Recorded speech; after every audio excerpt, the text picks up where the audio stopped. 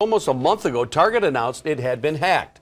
Tonight, the Target hacker has a name Rescator. And tonight, security experts are examining the computer virus to see if there are any other clues. Tom Lyden's been working this late breaking story. And Tom, I'm surprised there just wasn't security software to catch this. It that, seems pretty basic. That's an excellent question. In the business, they call it FUD or fully undetectable, which is apparently what hmm. this was. This malware was specifically designed to go undetected and specifically designed for Target.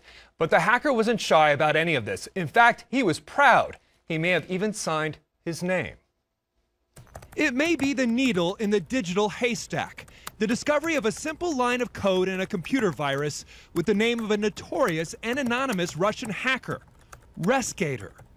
We caught up with security expert Mark Lanterman tonight, who told us two weeks ago the target hacker had a Russian MO. Russian malware is very aggressive, and because of that, it's very good. And the developers, they don't care if you eventually find them because they're not the middleman. They're simply selling this product at market. A number of tech blogs broke the story this evening, also laying out details of how it worked. The malware installed at checkout was a so called RAM scraper collecting information from the magnetic strip of your credit card before it could be encrypted. But here's the wild part. Six days later, it sent that data to a server inside Target, a Trojan horse, if you will, which uploaded 11 gigabytes of stolen data over two weeks. Either this is yet another breach because the server had to have been controlled by the hacker, or perhaps this is an inside job.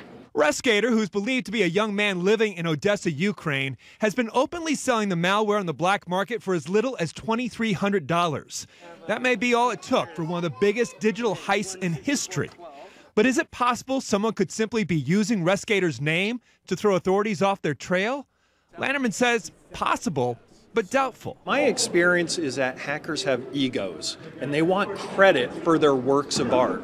This software is near and dear to the author and he wants to be acknowledged as the author. So my guess is that truly is the author.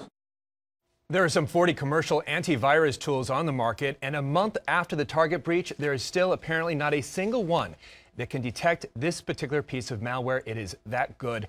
No comment from Target tonight on this story, Karen. So there's no warnings or anything about this virus being out there? Yeah, that's a very good question.